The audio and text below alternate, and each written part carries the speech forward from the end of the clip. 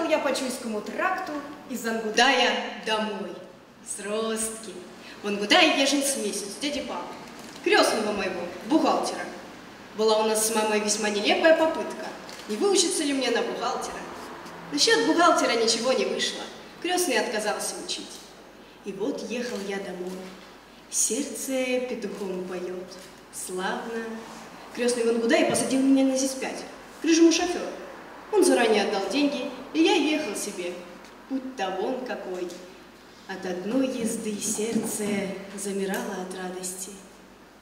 А было ему лет тридцать, крепкий, весь рыжий-рыжий, а глаза голубые.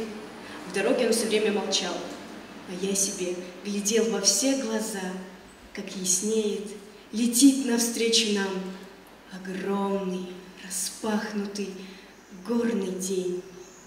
Эх, и прекрасно же ехать, и прекрасна наша Родина, Алтай. Как бываю там, так вроде бы поднимаюсь несколько к небесам. Горы, горы, а простор-то такой, что душу ловит. Какая-то это редкая, первозданная красота. Описывать ее бесполезно, ею и надышаться-то нельзя. Все мало, все смотрел бы и дышал бы этим простором. Едем. Навстречу нам такой же грузовичок ЗИС-5.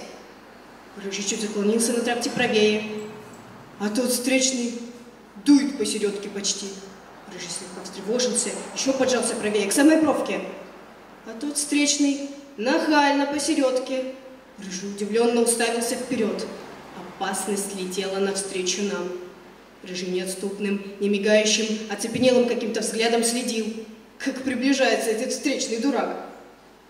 Тот перед самым носом у нас свильнул, но все равно нас крепко толкнуло, и раздался омерзительный, жуткий треск. Я больше испугался этого треска, чем толчка.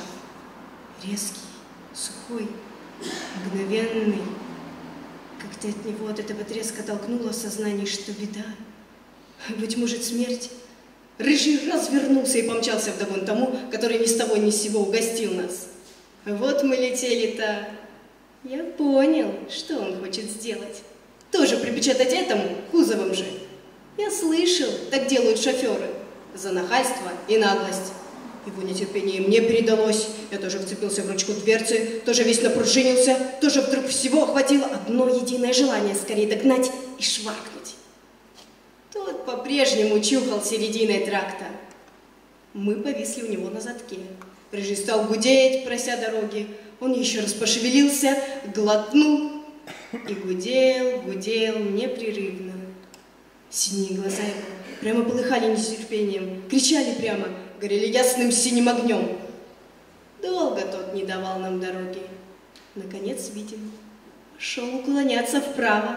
Рыжий прямо лег на руль и мы стали медленно его обгонять.